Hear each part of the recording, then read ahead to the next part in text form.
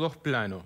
En el plano macro, evidentemente, el gobierno ha logrado cosas eh, exitosas. Eh, está logrando que la inflación vaya bajando. No hay, no hay baja de precios. Eh, la inflación baja menos. Explicar que algo baja menos cuando la guita no te alcanza es muy complejo para el que está ajustado. Ahora lo va logrando, ha mejorado muchísimo. La catástrofe que dejó Alberto Fernández, Sergio Massa en la economía era descomunal.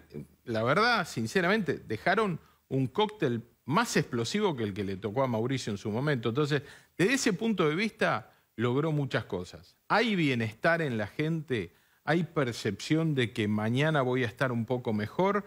Hoy lo que hay es más deseo de que eso ocurra que realidad. La economía del día a día, del bolsillo de la gente, está apretada, está compleja, pero la gente, por lo menos lo que me transmite a mí en general es, quiero que valga la pena, espero que esta vez no sea en vano, no, no aflojen, eh, yo aguanto. Y, mucha gente está aguantando y está aguantando con el agua acá, no acá, no mirando cómodo, este, están sufriendo, pero dicen, tantos años de mentiras, bueno, esperemos que esta vez valga la pena.